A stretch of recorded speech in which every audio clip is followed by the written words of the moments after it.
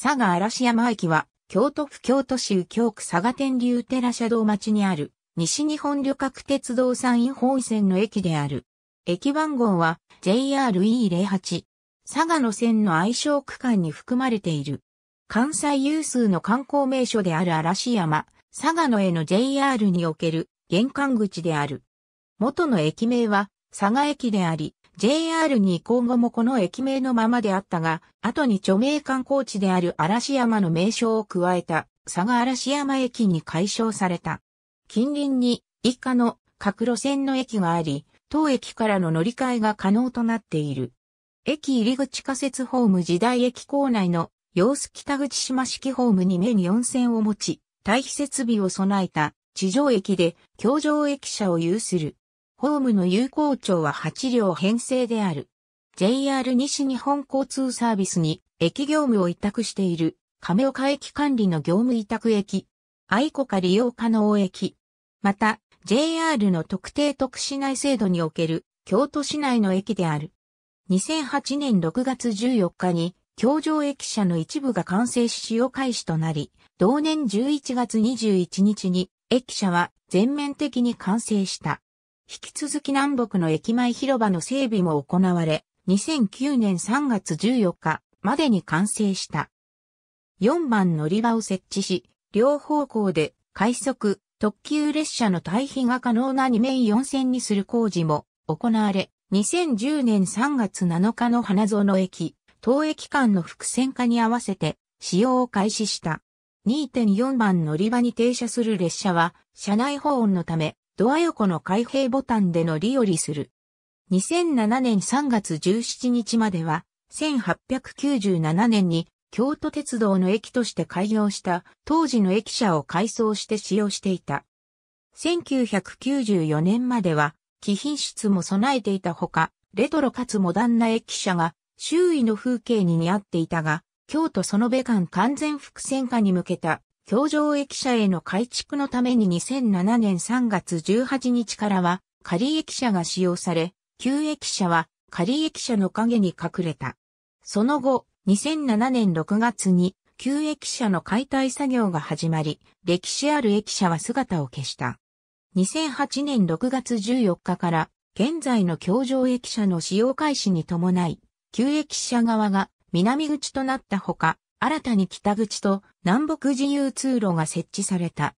また、北口には新駅舎完成時からエスカレーターが、南口側はエレベーターが改築当初からそれぞれ設置されていたが、エスカレーターは仮駅舎を撤去した後に設置されたため、橋上駅舎の開業から少し遅れて、同年11月21日に使用開始となった。駅舎は和風の内外装を持ち、付近の景観に溶け込むように配慮されている。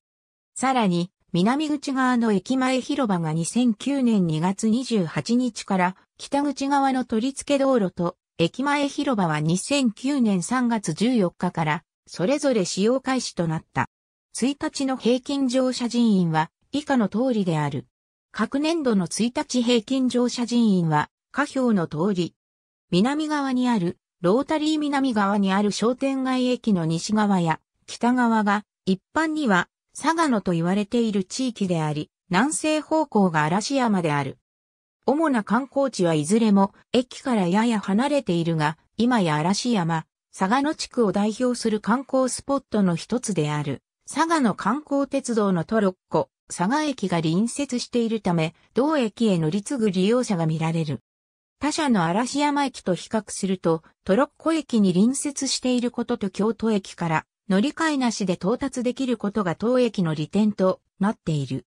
蘭電佐賀駅は南へ徒歩約4分、阪急嵐山駅は渡月橋を渡って南東方向へ徒歩約20分。駅前から京都府道135号、佐賀嵐山停車場線が発し、天竜寺方面へ通じる平成29年3月4日にダイヤ改正を実施します。西日本旅客鉄道近畿統括本部。2017年6月10日閲覧。AB、佐賀嵐山駅駅情報、JR お出かけネット。西日本旅客鉄道。2019年3月12日時点のオリジナルより、アーカイブ。2019年3月12日閲覧。2006年 JTB 時刻表関東、駅旅本線、JR 佐賀嵐山駅、南口駅前広場が完成橋から使用。毎日新聞。2009年2月28日閲覧。京都市統計書より記載された数値を当該年度の日数で除して算出。ただし、地名は桂川から北側は佐賀であり、南側が嵐山である。詳細は各記事を参照。佐賀駅に関するカテゴリー。ありがとうございます。